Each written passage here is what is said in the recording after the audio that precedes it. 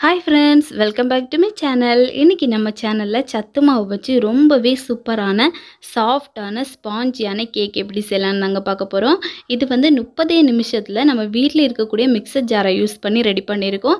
அதனால நீங்கள் நினச்ச நேரத்துக்கு கண்டிப்பாக இது செஞ்சு சாப்பிடலாம். அவ்வளோ டேஸ்டியாக இருக்கும். குழந்தைங்கள்லேருந்து பெரியவங்க வர எல்லாருமே ரொம்ப விருப்பப்பட்டு சாப்பிடுவாங்க. இப்போ வாங்க இது எப்படி செய்யலாம் அப்படிங்கிறத நம்ம வீடியோ பார்த்து தெரிஞ்சுக்கலாம்.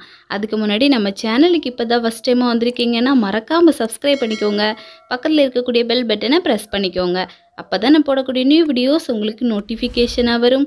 மறக்காமல் லைக் பண்ணுங்கள் ஷேர் பண்ணுங்கள் இப்போ வாங்க நம்ம வீடியோக்குள்ளே போகலாம் இப்போது இந்த சத்து மாவு கேக் பண்ணுறதுக்காக நான் மிக்சர் ஜார் எடுத்துகிட்டு இதில் சரியாக ஒன்றரை கப் அளவுக்கு சத்து மாவு எடுத்திருக்கேன். சத்து மாவு பார்த்தீங்கன்னா நீங்கள் அங்கன்வாடி சத்து மாவாக இருந்தாலும் பரவாயில்ல இல்லை கடையில் வாங்கினது இல்லை வீட்டில் ரெடி பண்ணது எதுவாக இருந்தாலும் நீங்கள் வந்து எடுத்துக்கலாம்.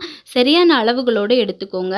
இப்போ நம்ம சத்து மாவு எடுக்கும்போது அது கொஞ்சம் திரு திருன்னு இருக்கும். அது நல்லா பவுடர் பண்ணி ஃபஸ்ட்டு நம்ம எடுக்கணும். நான் மிக்சர் ஜாரை நல்ல ஒரு ஓட்டு ஓட்டி இந்த மாதிரி நல்ல பொடி பண்ணி எடுத்து வச்சுருக்கேன்.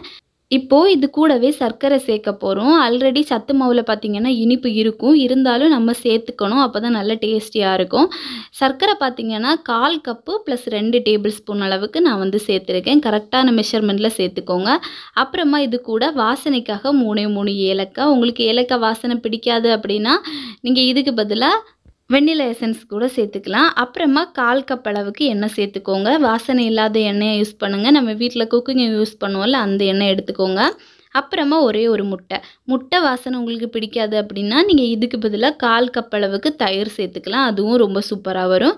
இப்போ இது எல்லாத்தையும் சேர்த்துட்டு நம்ம ஒரு ஓட்டு ஓட்டி எடுத்துகிட்டு வந்துட போகிறோம் நல்லா அரைச்சி எடுத்துகிட்டு வந்துடுங்க இப்போ நம்ம இதை அரைச்சி எடுத்துகிட்டு வந்துடலாம்.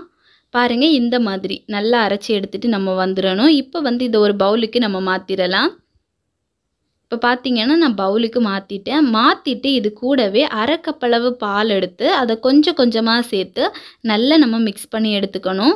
நல்ல ஒரு ஃபோக்கோ விஸ்கோ வச்சு இந்த மாதிரி நல்லா கலந்து எடுத்துக்கோங்க. அப்போ தான் இதில் எந்த கட்டிகளும் இருக்காது. நல்ல நைஸாக நம்மளுக்கு இட்லி மாவு பதம் இருக்கும்ல அதே பதத்துக்கு தான் வரணும். அது வரைக்கும் நல்லா இந்த மாதிரி கலந்து எடுத்துகிட்டே இருங்க. இப்போ வந்து நம்ம மிச்சமாக இருக்கக்கூடிய அந்த பாலையும் சேர்த்துடலாம். இந்த மாதிரி சேர்த்துட்டு நல்லா இந்த மாதிரி கலந்து விடுங்க. இப்போ பாருங்கள் நம்ம நல்லா கலந்தாச்சு. இந்த மாதிரி இருக்கணும் இட்லி மாவு பதத்துக்கு. அப்புறமா இது கூடவே அரை ஸ்பூன் அளவுக்கு பேக்கிங் சோடா வந்து நான் சேர்த்துருக்கேன். அப்புறமா ஒரு ஸ்பூன் அளவுக்கு பேக்கிங் பவுடர் வந்து சேர்த்துருக்கேன். உங்ககிட்ட பேக்கிங் பவுடர் இல்லை அப்படின்னா நீங்கள் ஒரு ஸ்பூன் அளவுக்கு பேக்கிங் சோடா சேர்த்துக்கோங்க. அதாவது ஆப்ப சோடா சேர்த்துட்டு லைட்டாக ஜென்டிலாக இந்த மாதிரி மிக்ஸ் பண்ணி விட்டால் போதும். ஓவர் மிக்ஸ் நம்ம இனிமேல் பண்ணக்கூடாது. இந்த மாதிரி ஜென்டிலாக மிக்ஸ் பண்ணி நம்ம எடுத்து மாற்றி வச்சிடலாம். இப்போ வந்து நம்ம ட்ரே ரெடி பண்ணிடலாம். நான் ஃபைவ் இன்ச்சில் இருக்கக்கூடிய ட்ரே தான் எடுத்திருக்கேன். அதில் கொஞ்சமாக ஆயில் மட்டும் நம்ம தடவி விட்டால் போதும். மாவு எதுவும் போட வேண்டிய அவசியம் இல்லை. இப்போ இதில் வந்து நம்ம ஆல்ரெடி ரெடி பண்ணி வச்சுருக்க அந்த பேட்டரை வந்து விட்டுறலாம். முழுவதுமாக எல்லாத்தையுமே இதுக்குள்ளே விட்டுருங்க. இப்போ பார்த்தீங்கன்னா நம்ம எல்லாத்தையும் இதில் சேர்த்தாச்சு. சேர்த்ததுக்கப்புறமா ஒரு தடவை இந்த மாதிரி டேப் பண்ணி விடுங்க. அப்போ தான் ஏர் பபிள்ஸ் எதுவும் உள்ளே இல்லாமல் இருக்கும். இப்போ சேர்த்தாச்சு. நான் குக்கரில் தான் இன்றைக்கி வேக வச்சு எடுத்துக்க போகிறேன் ஃபஸ்ட்டு வந்து மூடி போட்டு ஒரு ஃபைவ் மினிட்ஸ்க்கு நல்லா ப்ரீஹீட் பண்ணிவிட்டு அதுக்கப்புறமா நம்ம ரெடி பண்ணி வச்சுருக்க அந்த ட்ரேயை வந்து உள்ளே வச்சிடலாம். வச்சுட்டு இப்போ மூடி போட்டு ஒரு இருபத்தஞ்சி நிமிஷத்துக்கு லோ ஃப்ளேமில் வேக விடுங்க. விசில் எதுவும் போட தேவையில்லை. இப்போ இது இருபத்தஞ்சி நிமிஷம் கழித்து நம்ம பார்க்கலாம். இப்போ பாருங்கள் இருபத்தஞ்சி நிமிஷம் ஆயிடுச்சு நல்லா குக் ஆயிருக்கு. இப்போ வந்து ஒரு குச்சியோ கம்போ எடுத்து இந்த மாதிரி குத்தி பாருங்கள் ஒட்டாமல் வந்துச்சு அப்படின்னா நம்மளுக்கு நல்லா வெந்திருக்குன்னு அர்த்தம். இப்போ பார்த்தீங்கன்னா ஒட்டவே இல்லை. இப்போ இதை வந்து ஒரு அஞ்சு நிமிஷத்துக்கு நல்லா ஆற விட்டுட்டு நம்ம எடுத்துடலாம். இப்போ நல்லா ஆறிடுச்சு. இப்போ வந்து ஓரத்தை இந்த மாதிரி கத்தி வச்சு எடுத்து விடுங்க. அப்போ தான் இது வர்றதுக்கு கொஞ்சம் ஈஸியாக இருக்கும்.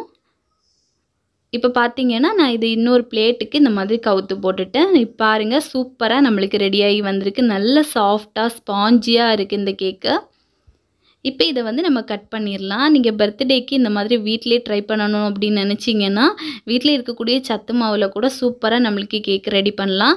அதனால் கண்டிப்பாக நீங்கள் எல்லாருமே இதை உங்கள் வீட்டில் ட்ரை பண்ணி பாருங்கள் ட்ரை பண்ணி பார்த்துட்டு எப்படி இருந்துச்சுன்னு மறக்காமல் கமெண்ட் பண்ணுங்கள் இந்த வீடியோ உங்களுக்கு ரொம்ப பிடிச்சிருக்கு அப்படின்னா உங்கள் ஃப்ரெண்ட்ஸுக்கும் ஷேர் பண்ணி விடுங்க நெக்ஸ்ட் இன்னொரு வீடியோவில் உங்களை சந்திக்கும் வரை டேக் கேர் பாய்